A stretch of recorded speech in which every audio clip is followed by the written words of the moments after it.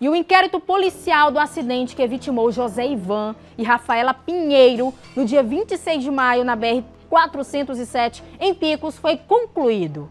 Esse jovem que você vê na tela, ele morreu ainda no local. Já a moça, Rafaela, teve a perna amputada, passou por procedimentos, mas não resistiu e também faleceu. O condutor do caso, causador, o condutor desse veículo, causador do acidente, foi indiciado. Agora na tela do BG Manhã. O caso teve início na manhã do dia 26 de maio. Dois jovens, identificados como José Ivan e Rafaela Pinheiro, vinham em uma motocicleta na BR-407, quando colidiram frontalmente com um carro. Na época, a PRF apurou que o acidente foi causado porque o condutor do carro, que estava bêbado, invadiu a faixa contrária da pista e colidiu frontalmente com a motocicleta, José Ivan, que conduzia a motocicleta, morreu ainda no local. Já Rafaela, que vinha na garupa, teve a perna decepada e foi internada no hospital de Picos, onde passou por várias cirurgias, mas faleceu após algumas semanas. Qualquer caso que seja grave, que demande uma investigação mais aprofundada, ela vai ser feita com todo o rigor que a lei exige, que nosso dever nos obriga. As dificuldades se deram em razão de, de ser muito, muitas testemunhas, da necessidade de ouvir muitas testemunhas e de ter que, que buscar imagens também em vários locais, como por exemplo, no local da festa em que ele estava no início da noite, é, no local da festa para onde ele foi posteriormente à, à, à festa inicial e no local do acidente. Então, tudo isso demandou tempo foram ouvidas 23 testemunhas ao todo. Após longas investigações, o inquérito foi concluído pela delegada Laura Carneiro e foi remetido à Justiça. O condutor do carro foi indiciado pelos crimes de homicídio doloso e omissão de socorro com resultado em morte. Durante o termo de qualificação interrogatório né, do, do indiciado, ele manifestou o direito né, de ficar em silêncio. Ele nada falou. A perícia nos mostra isso, né, que a colisão ocorreu na via, né, na mão contrária, ou seja, onde os motociclistas, não, o motociclista vinha com a esposa. Então, assim, foram arremessados a uma distância gigantesca, uma, salvo engano, 31 metros de distância do ponto de colisão e o outro a 28 metros, salvo engano. Então, assim, foram arremessados para muito longe, um local extremamente difícil. Eu tenho até uma, uma pessoa que foi ouvida, uma testemunha, que fala assim, olha, quando eu, a gente viu que era um acidente, porque as pessoas começaram a encostar.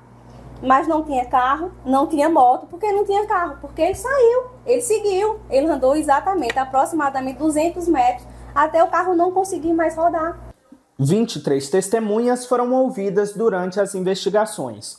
Os depoimentos foram documentados em vídeo de acordo com as delegadas que acompanham o caso, grande parte das testemunhas eram amigas do empresário e se sentiram receosas em dar os depoimentos. Ainda de acordo com as informações, a justiça recusou um pedido de prisão preventiva para o empresário. Por que, que a Polícia Civil entendeu pelo homicídio né, doloso? Pelo homicídio doloso. Porque a vítima, a, as vítimas elas estavam trafegando normalmente na sua via de direção e o autor do fato é, colidiu com elas.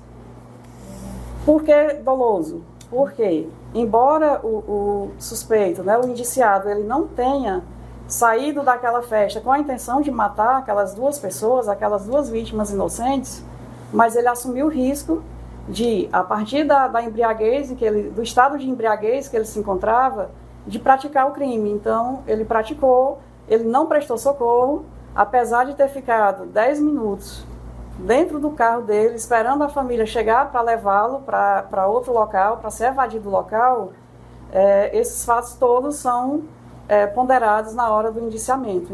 O caso agora está nas mãos da Justiça, mas não é descartada a possibilidade de o suspeito vir a júri popular. Ainda bem, você percebe a violência desse acidente. Como esse condutor foi responsável com a vida dele e dos outros envolvidos no trânsito.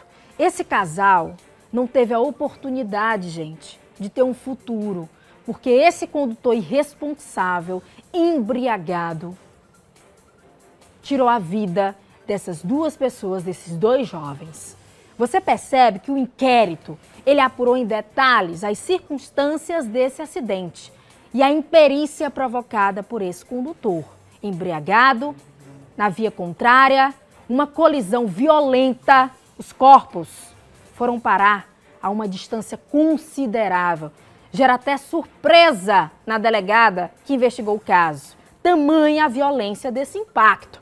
A polícia está certa diante desse inquérito policial. Tem que ser indiciado mesmo. É homicídio. É homicídio. Tá aí a informação apurada pelo nosso correspondente Danilo Eliezer em cima do fato. Essa reportagem vai constar lá no nosso Instagram, bgmanhã.pi.